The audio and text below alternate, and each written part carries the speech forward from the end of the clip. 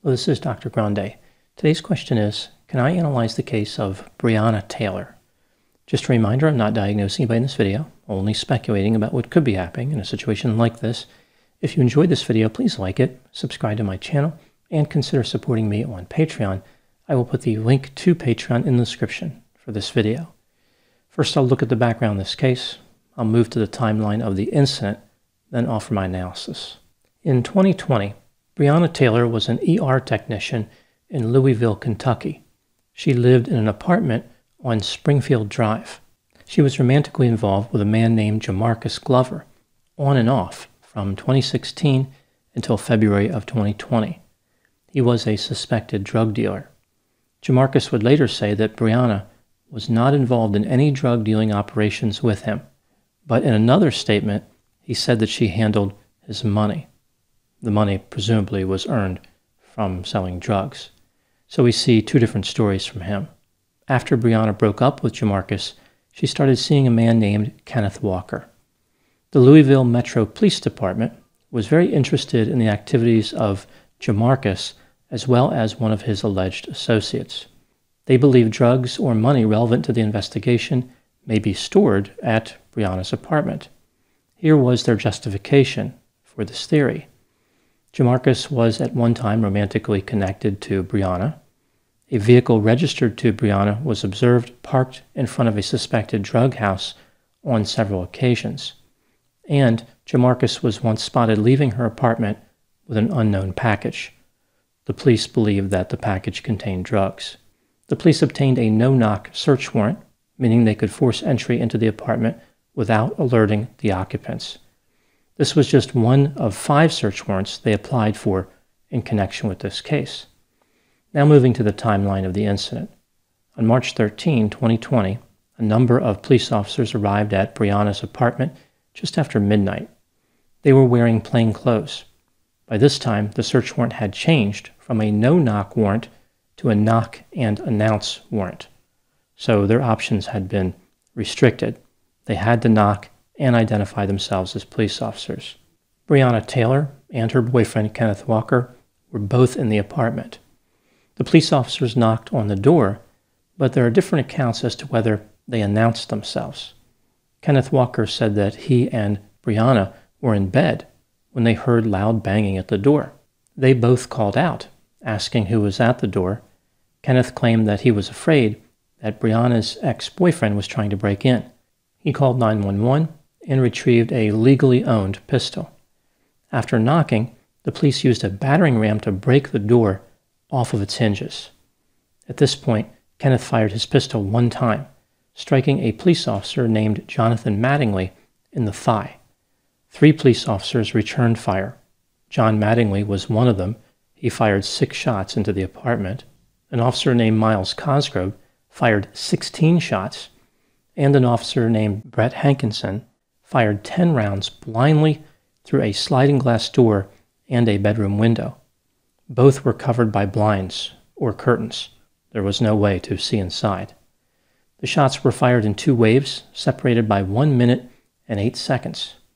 Not a single bullet struck Kenneth Walker, but five rounds struck Breonna. The rounds that struck Breonna were fired by Myles Cosgrove. The other two officers did not hit anybody with their fire. Breonna Taylor went for 20 minutes without receiving medical attention. She would not survive. The coroner would later say that she probably died less than a minute after being shot. No drugs were found in the apartment. Kenneth Walker was charged with attempted murder of a police officer, but the charges were eventually dismissed with prejudice, meaning he can never be charged again in this case. Myles Cosgrove and Brett Hankison were eventually fired, as was the police officer who prepared the search warrant. Jonathan Mattingly would end up retiring in 2021. Brett Hankison was charged with three counts of wanton endangerment. Three of the rounds he fired actually penetrated into another apartment that was occupied. None of the officers who were fired were charged in connection with Breonna Taylor's death. A civil suit was settled in favor of Breonna's estate.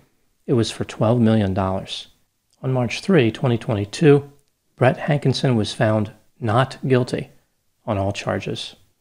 Now, moving to my analysis. I will review the items in this case that stood out to me. Item number one the police officer suggested that they knocked on the door of the apartment before breaking the door in. At first, they knocked gently, but then over the course of about 90 seconds, their knocking became increasingly forceful and loud. They also claimed that they did announce themselves. Many neighbors said they didn't hear the police knock or announce themselves.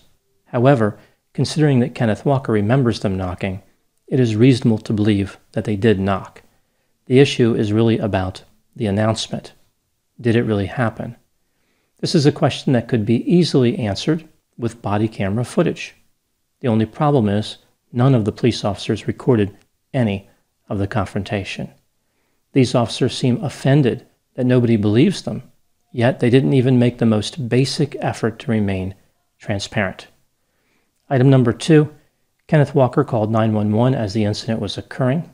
Just after the shots were fired, he told the dispatcher, quote, Somebody kicked in the door and shot my girlfriend, unquote. From Kenneth Walker's point of view, one could certainly argue he was within his rights to fire on who he believed to be intruders. There's a situation here where you have these people in plain clothes banging on the door, then breaking it off its hinges. One man charges in the house holding a gun. Nobody says anything about being a police officer, at least according to Kenneth. The police were behaving like hostile intruders, yet they were offended because Kenneth Walker responded as if they were hostile intruders. Item number three is how the officers returned fire.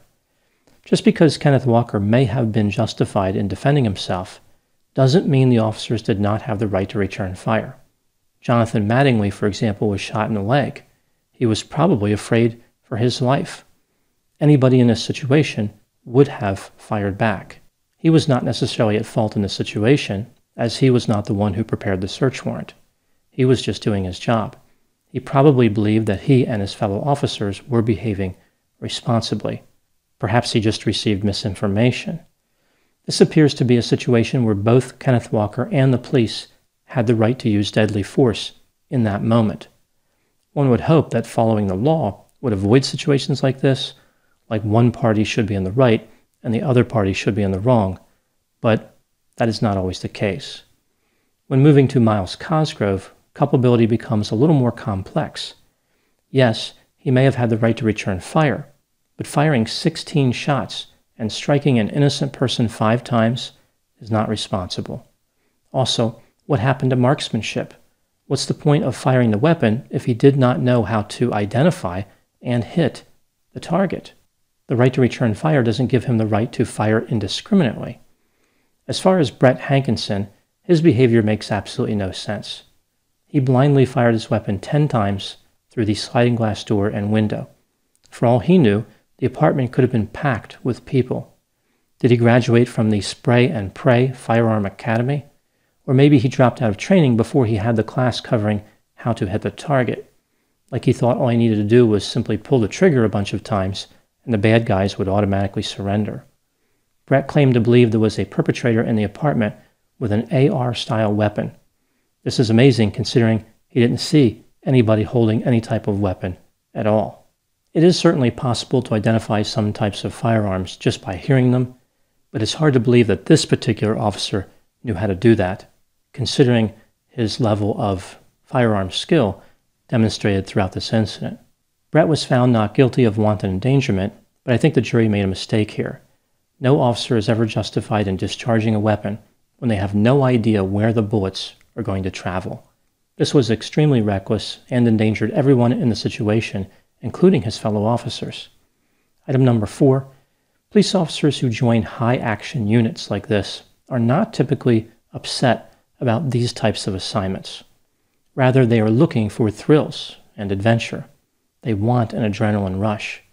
It would seem that these officers created a danger that did not exist, or at least one of them did, perhaps in part to satisfy a need for excitement. For example, they decided to execute a search warrant at night. They were not wearing body cameras, so no accountability, and they were wearing plain clothes. Even though the no knock warrant was eventually converted to a knock and announce warrant, I think it's telling that the initial application was for a no knock warrant. That only makes the situation more exhilarating and dangerous. High sensation seekers live for this type of experience.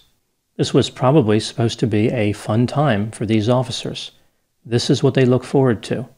Sometimes there's a thin line between pro-social and antisocial behavior, and some officers live to walk that line. Item number five.